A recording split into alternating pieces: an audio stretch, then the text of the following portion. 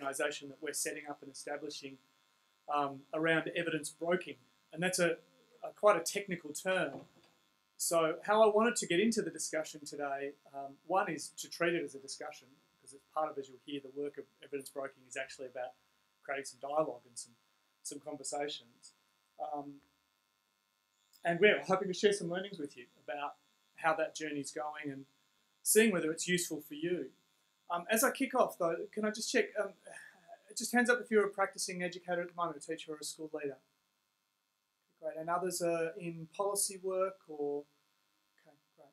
So, um, always with these presentations and conversations, what I hope to do is generate a couple of ideas or some items that might be some new knowledge. So, one of the bits that I've really gotten some great benefit from in any of these presentations and talking about work is, is beginning with a starting with why principle um, from a, a, guy called Simon Sinek, um, which is a lovely model of before you jump into talking about any of the things that you desperately want to describe, which is the outer barrier of the what, you need to step back and begin with a place about what's the motivation behind the work. Then you can more authentically answer, well, how would you go about doing that? What you've given your primary drivers, and then finally, where what does that look like in practice? How does that express itself in, in the world and in your work? So the why for this evidence broking that I'm about to talk to you about uh, and making research knowledge more available just begins with children and young people and their experience in schools. So our why is about making, giving these and all the other learners in schools around Australia the best possible opportunity to get the greatest value out of the education that they receive. Um, so that's a great moral purpose to be getting up and working for every day. And like all educators in Australia and around the world, that is the core activity. We begin by saying, how can we help give our learners the greatest possible opportunity for, for progressing? Um, it, it, gets a little stronger than that for the work that we're doing as an evidence broker, though, because we know that there are many students for whom um, education is difficult. Formal schooling education um, is less than effective, um, causes them problems, can often even do damage in terms of their own self perception or their, their future life chances. So, our aim, if we sort of focus a bit deeper on this why, for us, is about heading into saying, how can we make sure that learning is as effective as it can be for all of the learners that are in our care? Um, that why gets even a little sharper for us in the work in Australia um, because of the statistics that talk, tell us about the range of people who miss out or who miss out on good experiences. So this is a, a diagram from a study done by the Mitchell Institute looking at educational opportunity in Australia. And it's, uh, it's like a game of snakes and ladders, if you know that board game. If you're in the green at each of these life stages as they move down from early years through to school, um, senior school years, and, and ultimately early adulthood, those on the green are at about where you would hope in the range of a milestone of progress. Those in the red are behind. Now, there are some ladders in Australia, which is terrific, which represents those arrows moving from the red zones into the green. So at each stage, we can see we've got you know, 22 to 25% of people who are actually missing out and at risk of further missing out and receiving and heading into disadvantage. So at each stage, our systems can do a good job of moving some of that population and those cohorts back on track. Um, but equally, we look at the green, and these are the snakes, we find either people continuing to stay in the red zone, permanently disadvantaged in terms of their life chances, or those that were sitting in a green space but moving across um, over into a, into a risk zone. So the work that I'm going to talk to you about for us is about trying to understand better both the causes of those changes and the ways in which we can try and help more people um, on the ladders as opposed to the snakes and moving into green zones of um, you know, ultimate, the best possible progress or better than, than the current status quo.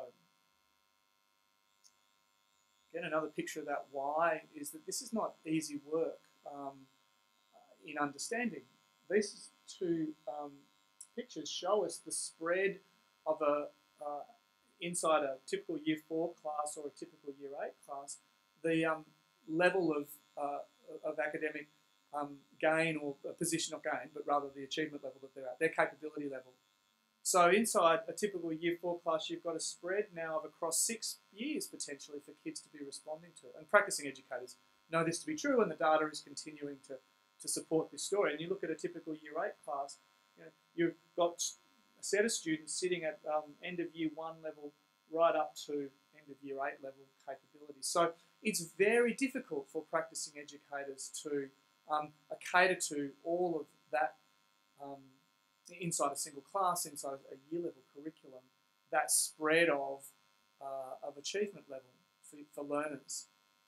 Um, but we really ought to if we're going to come back to that picture of understanding how to respond to individual need.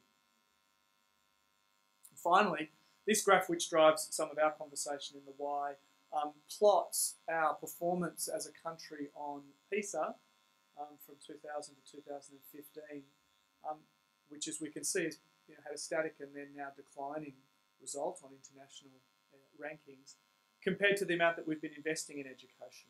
So we have in Australia made um, gains, and you know, for those of us that kind of follow the current media, there's been lots and lots of debate about the amount that we're spending and whether we should spend more or not.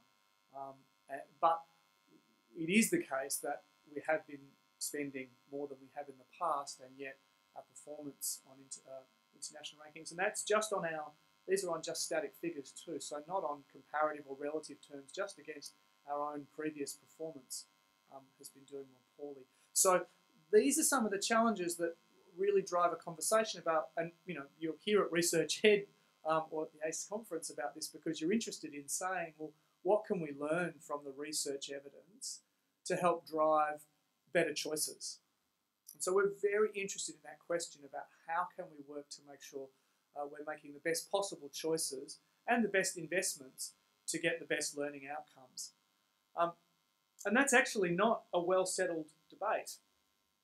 Um, as many of you would know, despite having very good evidence about many things, we find those things not move into practice.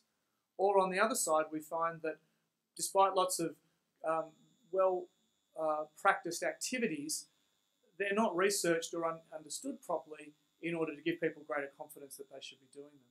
So we kind of now move in that why, how, and what into the how. So we as an evidence broker are trying to fix some inefficiency that runs between what practitioners know and work with and what research and evidence is, is doing and engaged in. So we're trying to make education better by learning and then sharing that um, so the diagram here is showing two processes that we say or feel like exist in an evidence ecosystem. On the left-hand side, so on the right-hand side, as you see it, the, there's a cycle in schools that we think can be stronger uh, in terms of the way in which change and improvement is being measured and evaluated and, and understood in schools. And then over here on the left-hand side, there's a role that the rest of us have got to play in trying to make that knowledge better understood. But at the heart of the work is actually teachers and school leaders. So the role of everybody else is actually just to help teachers and school leaders be even more effective in creating the right conditions inside the school for that work. And it's what we're learning is it's these uh, arrows between the two activities, what goes on in schools, and the top arrows should be driving research questions far more than they do. So that knowledge and um, evidence that is created in schools is often not brought to the research community for them to investigate how can we help with a problem in practice that you're experiencing. So we regularly you know, understand schools to say, well, we're trying to make things better, or we've gathered really excellent evidence about what we're doing, but no one wants to take it up. It can't move any further than beyond my school. Or the research that is done is only done to further the interests of the academic on an even more and more narrow topic rather than helping us with the thing we're most interested in solving. So for us as an evidence broker, that's one part of our role is to try and take the practice knowledge and cause the research to be conducted to help understand that practice experience better. The other side of the work that we see, this sort of arrow down the bottom, is that often there is excellent knowledge that's held um, in research, but it's not shared back in ways that are practical or useful for busy professionals. So, you know, uh, any any busy um, professional will know that kind of exploding inbox of research articles I've just got to get to.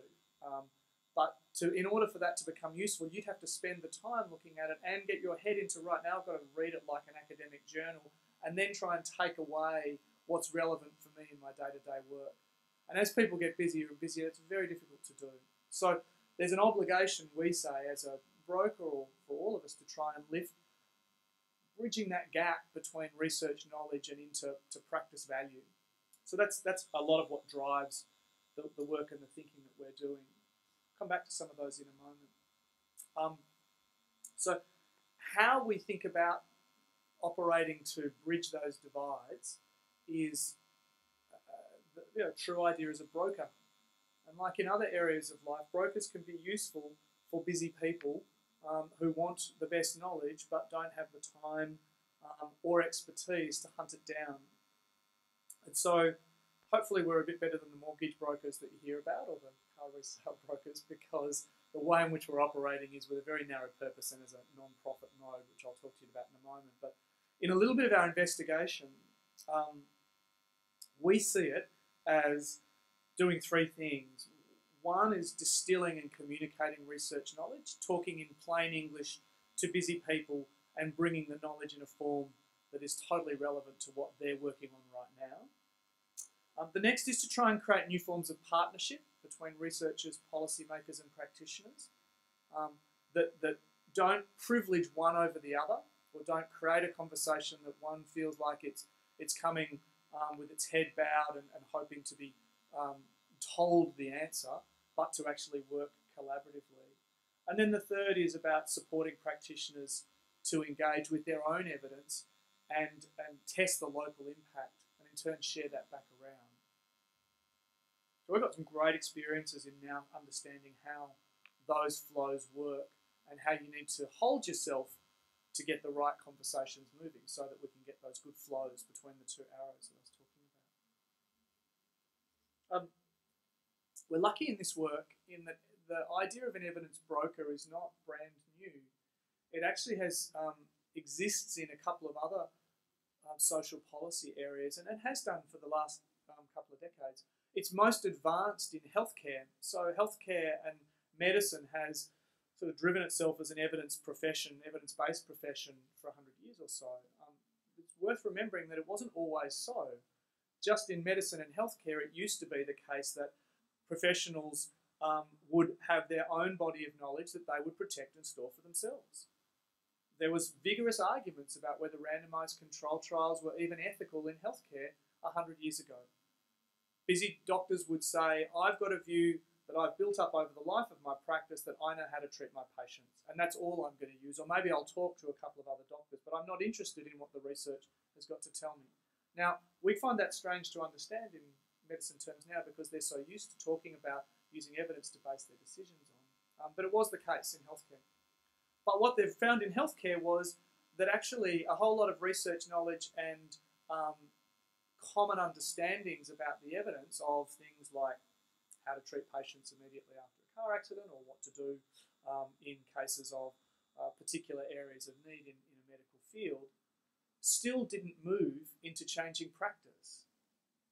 Um, it wasn't enough. Knowing was not enough. Even having the best quality evidence and the, the argument being settled, which it rarely is in something like education, but in medicine they could say, well, look, we're very clear now the evidence tells us this. Practice still wasn't changing. And that's because as brokers have had to respond to, to this need, there are many barriers to changing practice. It's not just enough to know. People need to have a sense that the person that's telling them about this information um, has only one agenda or doesn't have an agenda that's contrary to their own agenda. So um, that the, the ways in which you're being told to make those changes are in forms that you can do something about. It's a bit like the climate change stuff. We all know that things should happen, but no one's giving me a way of responding in a form that I can actually do. Um, and there's a few other bits in that work as well. So healthcare in the last 30, 20 years or so has been emerging this idea of we need people to move the knowledge from one place into practice. And now there's quite a lot of emerging literature and evidence about how you do that. And as I said, some of the bits of that are what I've been talking about already. That that it's not enough to know, that brokers can be really useful, or boundary riders, or innovation leads. There's lots of different terms for the work, but can be quite useful in helping practice understand research, and particularly research to get closer and better to connect with practice. That dual relationship. Um, and I like I sort of joke with my team that we um, live um, at Albury Wodonga, like on the boundary between two states and territories. We're not in either of those places. We're not practitioners. The team that are around me, we uh, some of us have had experience working in schools and, uh, and, and teaching in the classroom, but no longer doing that as a role. But neither are we researchers. We're actually something different. Have a, an appreciation of the needs of both, but feel like there is a third space that's important to occupy. And some of those um, activities that we're about have got those sort of big boxes that are up here on this slide. And they're quite different. Some of the, the um, skill sets we're drawing on come from communications and marketing companies, um, which is a little weird for me to be working with advertisers, but they know a lot about how do you create the space for a conversation to happen. Social facilitators are others, so those that have come from psych or social science backgrounds and behavioural scientists are often into this frame as well. And a lot of it, as we're experiencing, is, is, is really about social relations, creating good, positive spaces where the professionalism and the goodwill of the people who are engaged are, are um, established and almost always validated very quickly. And then say, well, what can we learn from each other? How can we do that learning? So that's the how we're doing things. What that means, um, and what I think hopefully is the most interesting part for all of you is, well, all right, if a broker is getting developed here in Australia, what, what does it do and what's in it for me? so Evidence for Learning is the um, non-profit enterprise that's being created to do this work here in Australia. We've got a philanthropic grant from the Commonwealth Bank to present at events like this, work with networks of schools, engage with universities and try and promote this conversation so that high quality research knowledge can move and be used by schools, and that the research community gets closer towards um, embracing the practice knowledge that does exist as well. Uh, so we're doing things nationally, um, and the resources that I'm going to talk to you about are all free and open access, and they'll always stay that way. The intention is to push this in as an honest broker um, that has no role in schooling, and, and therefore we hope can be seen as someone that comes to the, the evidence with no other agenda we'll have statements about the things, but they'll be based on what we can understand from the research evidence rather than it being suiting a particular government or a state or federal position. So our way of getting back to that why, and this for us is the theory of change in our own work, is that we say that if there were two conditions that were well attended to in Australia, one that we increased our investment in high quality evidence, and that's both listening to practitioners as well as making research knowledge of high quality more widely available. Uh, and we improve the conditions that school leaders, and I don't just mean principals and APs there, but heads of department, um, subject level coordinators, and uh, year level coordinators, and the like, um, engage with evidence, then they're more likely to create conditions in the school that better approaches are going to be more frequently adopted and lower impact approaches will be more quickly retired. And if we do that, then as a whole country, we're going to see greater improvement in the education performance. So turn those sort of lines on international rankings um, in, in, a more positive direction. Higher impact approaches for the spending that we've got. So that's how we conceive of the work. Um, and we talk about doing that through building, sharing, and using evidence together nationally in each of those areas, I'm just going to talk to you quickly about some of the things that we're doing as a broker in that work uh, and, and hopefully make it, how would this be valuable to, to a practitioner in, in schools. So the first bit in terms of building evidence is using some of the Commonwealth Bank's money, we've created a thing called the Learning Impact Fund. And we're funding trials in schools of programs that are of interest to um, education departments or we hope school leaders. And we're doing trials of a very particular type. So we're funding randomized control trials. So these are trials where we're measuring the academic results of a program in schools and we're comparing those results to schools that are statistically similar that were recruited in the trial, um, and they didn't know whether they were going to get the program or a different program, a comparable but different program on day one of the trial. And then we'll measure the effects at the end two years trial and say, well, did we see an increase in academic performance as a result of those projects? So randomized control trials are the sort of what they talk about as gold standard in um, in medicine.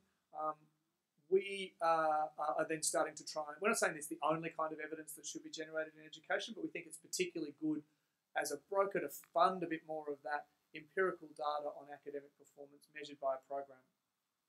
Um, and we've already commissioned three trials like that. One related to maths instruction in primary schools, trying to build um, maths automaticity, so a bit addressing the cognitive load theory that's around. Another one relating to professional development of teachers in teaching maths, so trying to build their maths confidence and helping students, uh, helping their own students understand their own maths activities and the third one in relation to phonics instruction for early years readers, which is particularly um, live topic here in Australia for early literacy problems as well.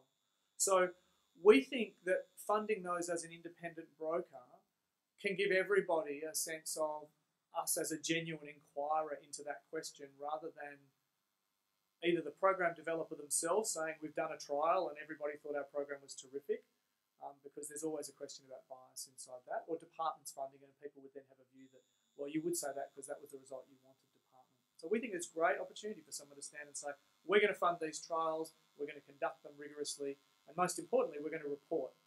No matter the results, we're going to put a, the report out, and the report isn't going to go first in an academic journal that you have to pay money to get to. We will publish for free on our website the results of those three programs. And that default for us is very important we will continue to create new knowledge that we create, we'll make available in plain English um, and in forms that can help practitioners answer the question about, well, Quick Smart Maths was the name of one of the, the maths program. Do I think Quick Smart Maths is going to be good for my school? Well, I can go to a source that I trust, that's done a trial, and they can give me some answers about that that let me make a better decision. Or on MiniLit, which is the literacy intervention program that we're trialing as well. So our aim here is that brokers move knowledge, higher quality knowledge more quickly. The graph there is showing really for us the question that we want to play in is in this space between innovating and scaling. Um, it's frightening really that what often happens in big system investments is they hear about a great innovation that occurs in a school, in five or six schools. Uh, they say, this is terrific, this should be everywhere And you just sort of hold your breath and say, well, maybe it shouldn't be everywhere.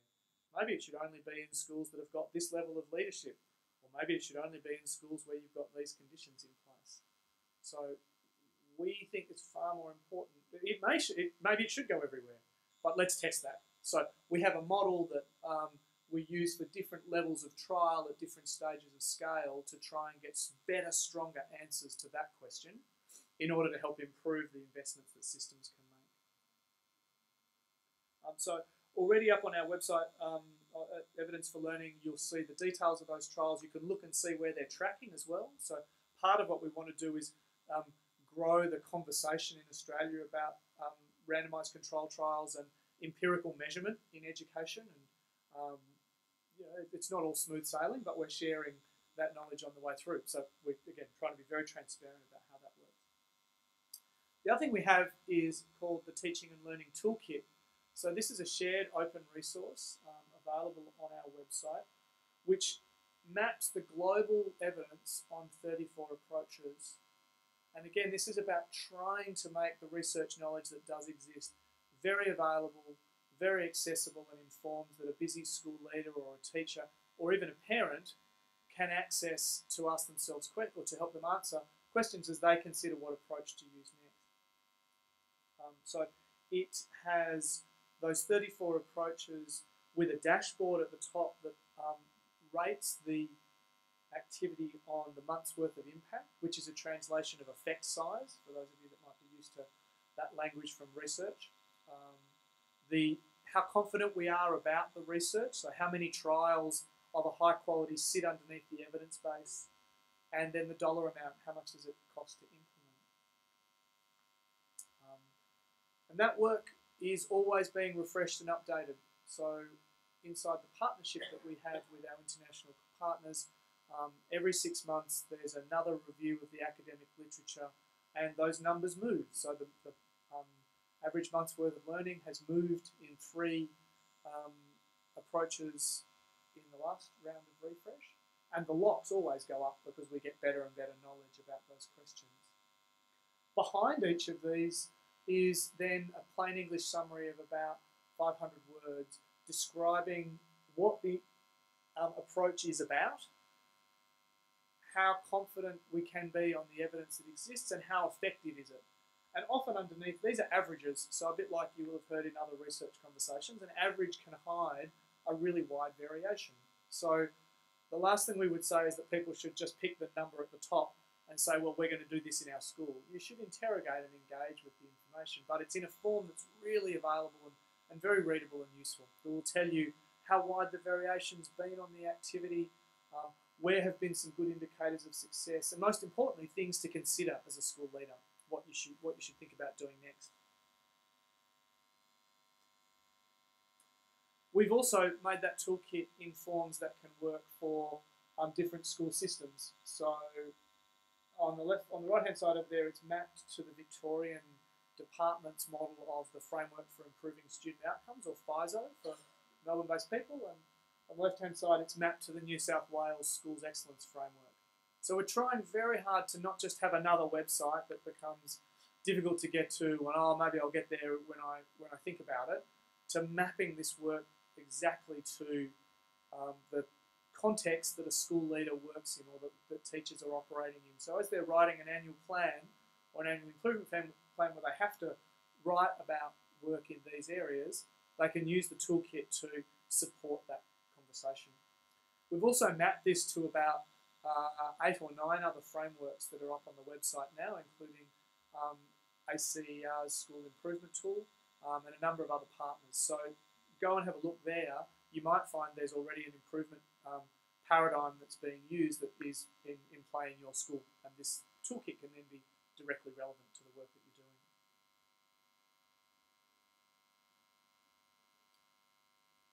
Move just now and talk to you a little bit about the final part of the work, which is using evidence. What are some of the ways in which we're trying to help schools work and engage and use evidence? So this is a cycle that was back up in that picture about what might happen in a school and I thought I'd use this as a way of talking to you about um, what we know so far as, as in evidence broker and things you might think about um, as school leaders through that process. So around the process begins with a form of diagnosis or what's your impetus for change, understanding your local conditions. Awareness is about looking to the networks um, and information sources to help inform you about what you might do to make uh, an improvement to address that challenge in your school. Um, adopting and adapting uh, is, is about ultimately selecting an approach that you think is going to be right to help you in your challenge, and then the, the orange circles are about implementing and evaluating and adjusting, finally that play and crawl about whether you're going to keep it going or retire it in your school. In a minute I'll talk to you about some ways of thinking about the evidence base and what we've learned to, to make that work. Just quickly within that though, one of the things that we've also started to engage with is trying to make the resources more, uh, even more useful and relevant. So back up on the toolkit, feedback is a practice that has been shown by a lot of evidence to be very effective, plus eight months worth of um, learning in the teaching and learning toolkits, and that's um, absolutely re repeated in John Hattie's meta-analysis in um, visible learning as well, um, in a different form. But many people have said, well, that's fine. And we know feedback's really effective, but, but what does that mean? How do I do it effectively in my school? And so together with AITSL, we've created a set of resources that try and move from the what towards the how. Um, and so these are a summary of the research evidence, but not just to tell you more about the active ingredients, but to say, well, what do we think that looks like in practice? What would you actually do to build um, some items around building a whole school approach, trialing practices, explicit teaching and feedback, and building next steps in learning. So again, free resources that are available on AITSL's website, which have even got downloadable um, PowerPoint presentations for a conversation in your staff room. Um, a project planning tool to say, well, if you're on a feedback journey, how might you think about the conditions all the way through to give it the best chance of success in your school. So really trying to move beyond this. Oh, look, the research says it. Um, oh, we're doing it, but our practice looks nothing like what the research says is effective. We're trying to get some greater practice in, in place help that conversation. Um, and the last bit of work that we're doing is in advocacy also uh, at a system level. So these are some graphs, uh, sorry, some, di- uh, some infographics that are coming out from the Productivity Commission, who have been conducting um, an inquiry into how do we build a better evidence base in education to help improve outcomes. So very much on the frame that we're talking about. And we've been very active in talking to them uh, about not thinking about this work as just top down. The research happens over here. Schools get told you should now do practice A, B, and C. And a lot of what we've been saying is because that will be a waste of investment, a wasted investment, unless you're engaging with professionals as they're working through the change in their school and bringing evidence to them. Um, you, you'll make no change at all. So much like I was saying at the top of the presentation, we absolutely believe that where change occurs is in the classroom with teachers and kids in their learning.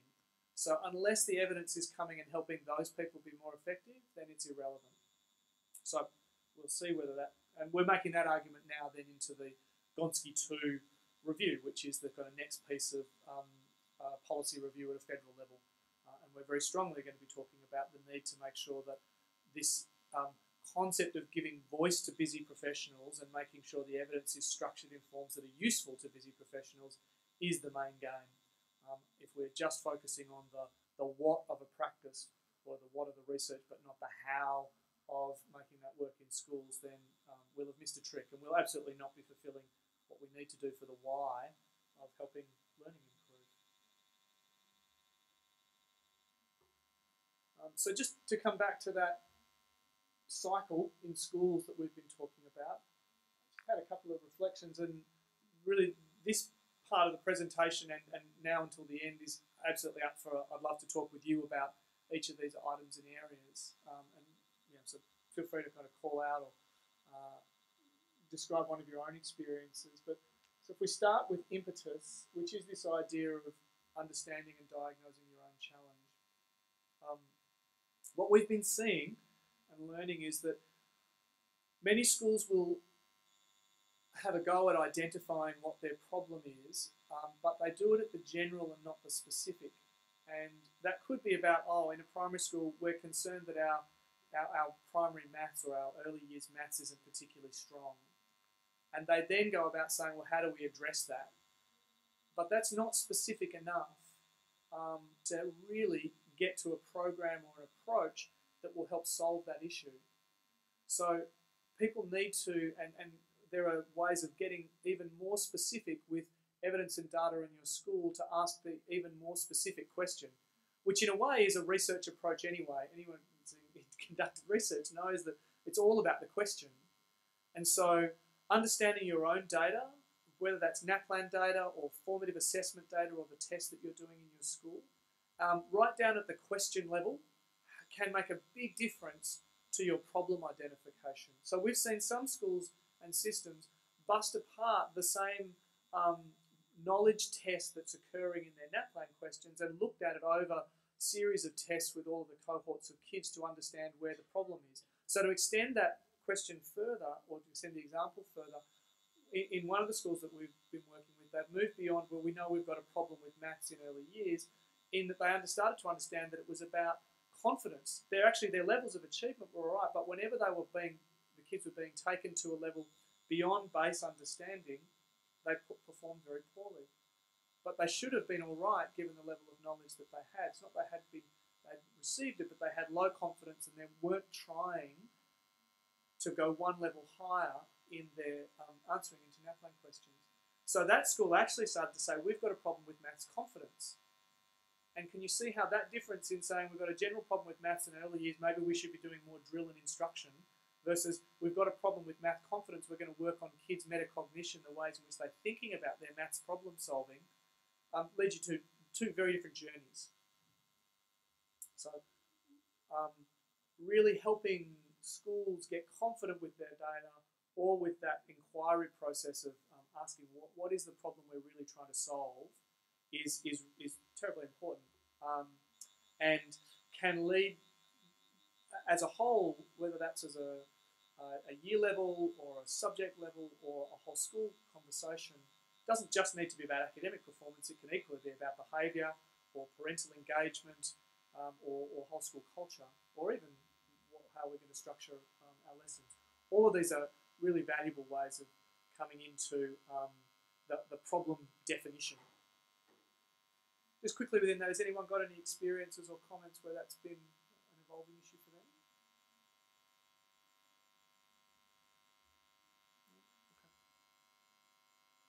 So the next area of awareness.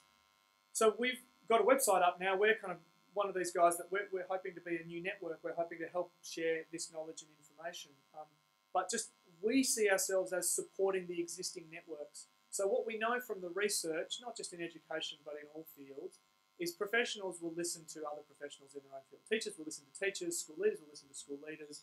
Um, everybody else is treated with a degree of skepticism because you don't really know. So that's that's fine. Our theory of change is actually let's spend time helping those networks become more effective. But for you, think about your own networks.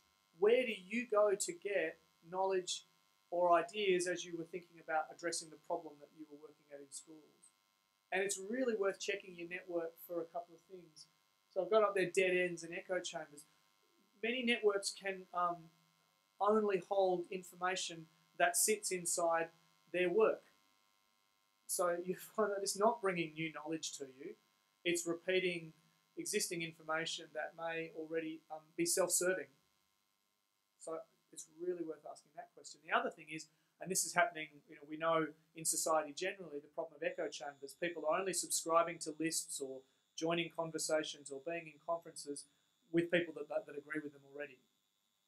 So they can have their own prejudices further validated and further strengthened. And networks can have that, that, that risk.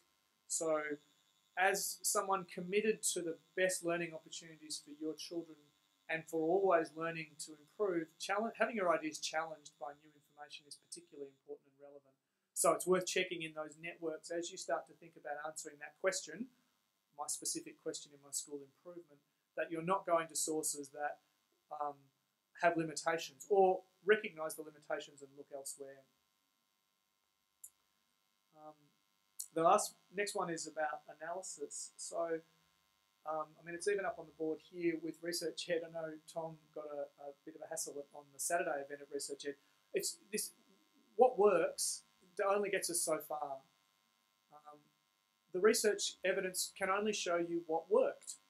Somewhere else, at another point in time, that doesn't mean it's not relevant. It's very relevant and can be very useful. But what we need to keep asking ourselves, and this is sort of the obligation on the research community, is not just what worked, but what works for who, under what conditions. And if and, and you should be, uh, as people querying the evidence base, demanding that. Because then that analysis causes you to say, well, when did it work? What were the preconditions for it? Maybe we needed um, to have greater professional capability in our staff before we put this out. Maybe we need more time because it really needs to be delivered every single week for nine weeks, not once a term. I mean, all of these are key questions to helping make sure that you get the benefit of its effect in another environment in your environment. Because as a school leader, you only care about your environment and your kids. So that's the really important bit on analysis. Um, adopting and adapting is a, is a key dimension of recognizing that to move something into real practice, um, it's going to be about making changes. So we talk a little bit about faithful adoption of the things that are the active ingredients in an approach, but intelligent adaptation. It's not going to work like that for us because our parents um, won't engage in um, the mobile devices yet or in a web platform because we've got um, a high degree of digital exclusion. We might be working in tough circumstances. So to then just say, well, we've built the website, why aren't they coming, is never going to be effective. So there has to be good adaptation to the local conditions. Uh, again, we've got a set of resources on Evidence for Learning site that's in this mode about thinking about your implementation planning, um, which has got elements of absorptive capacity, which is a very technical term, but, what I think about is the wet sponge. If you've got a you know body of teachers um, who are already at their maximum with the changes that have been brought down either by you as a school team or by the system, um, thinking about adding more activity to that work could just see the water run straight out. It's not going to be absorbed by the sponge anymore. They're at maximum. So this is often about innovation in this world is often in this work is often about saying what are we going to stop doing as much as what we are going to do. And then thinking about if we're going to talk about doing a new thing, is our environment ready for that thing? Can it handle it? Um, and what might, else might come down from it? The last two parts are about really acting with good intent and generating your own local evidence and knowledge, um, and measuring and evaluating and creating baselines. And again, we've got some good resources on the site to help that conversation. And that's really important so that schools can make a decision whether to omit the work that the, now the best, you know, almost the, the second best result is to find out that it didn't work in your school. Because then you can stop it and not do it anymore. That's great, because then you can focus on activities that give you higher learning volume. So just to finish, this is a lesson from um, healthcare, a, a, hospital in the US, um, who have seen the most remarkable growth um, in both hospital admissions and the improvement in clinical outcomes for their patients. And they came from a very low base. Um, and this then is really about a mindset. Thanks for your time.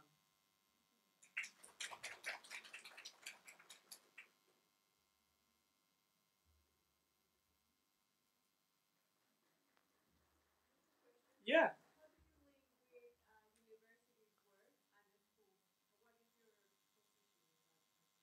So we have a couple of different roles. We um, work with the universities. Um, do you mean in terms of teacher education? Sometimes we just let the, the support that already the teacher education that runs. We try to bring these evidence assets to the initial teacher education so that our synthesized evidence is provided as part of what they're doing in the coursework. And then sometimes we're providing these resources to the faculties for them when they're working with schools to help the schools themselves capture data for them to share and research as well. And then sometimes we um, hire the universities as evaluators of the programs that we were talking about.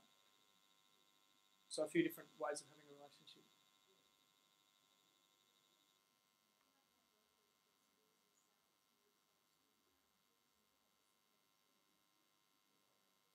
Um, so they're approaching us. We, we do um, have a couple of schools that have already been engaging with the materials and have said we'd like to work more closely with the material.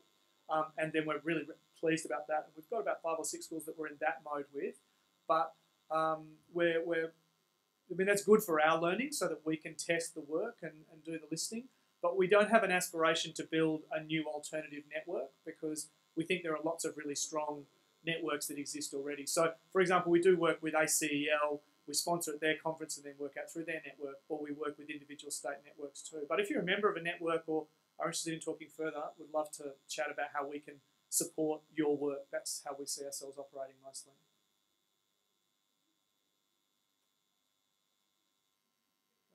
Thanks very much.